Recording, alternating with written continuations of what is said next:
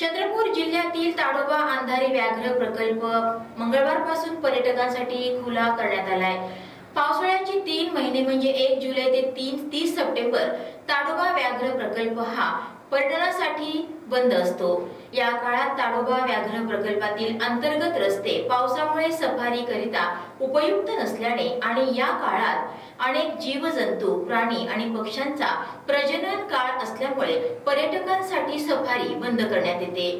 मात्र पावसाचा जोर उतरताच पुन्हा एकदा ताडोबा व्याघ्र प्रकल्प पर्यटकांच्या सेवेत दाखल होतो आहे.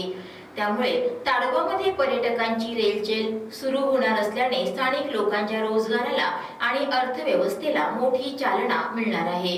सफारी आणि खूप एक्साइटमेंट आहे. काल आम्ही बफरमध्ये जाऊन आलो आणि आता आज पहिला दिवस एक कोर उघडतोय म्हणून खूप एक्साइटमेंट आहे सगळ्यांमध्ये.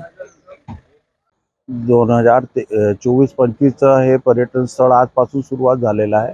हे सुरू झाल्यामुळे रिसोर्ट व्यवसायाला चांगल्या पद्धतीची एक चालना मिळते. व स्थानिक लोकांना रोजगार पण उपलब्ध होतो. देश विदेशातले पर्यटक इथे येतात.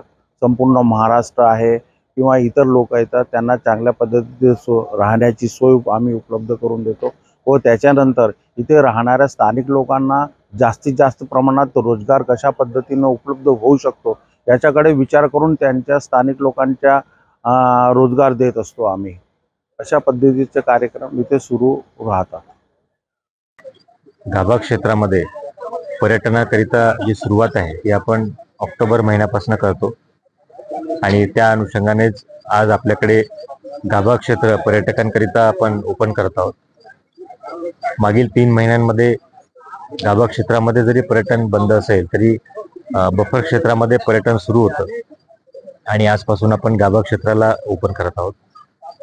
ताडोबामध्ये पहिल्या दिवसापासूनच पर्यटकांचं जे पसंती आहे ती असते आणि त्यामुळे आज आपण बघत आहात की मोठ्या प्रमाणामध्ये जे आपले बुकिंगचे स्लॉट्स आहेत ते सगळे फुल आहेत आणि दूरदूरून पर्यटक येतात. आणि यावर्षी सुद्धा आपण मागील वर्षीप्रमाणे जे पर्यटनाचे नियमन आहे त्या ते योग्य प्रकारे करून पर्यटनाचा जो पूर्ण कालावधी आहे ऑक्टोबर ते जूनपर्यंत तो सुरळीतपणे पार पडावा.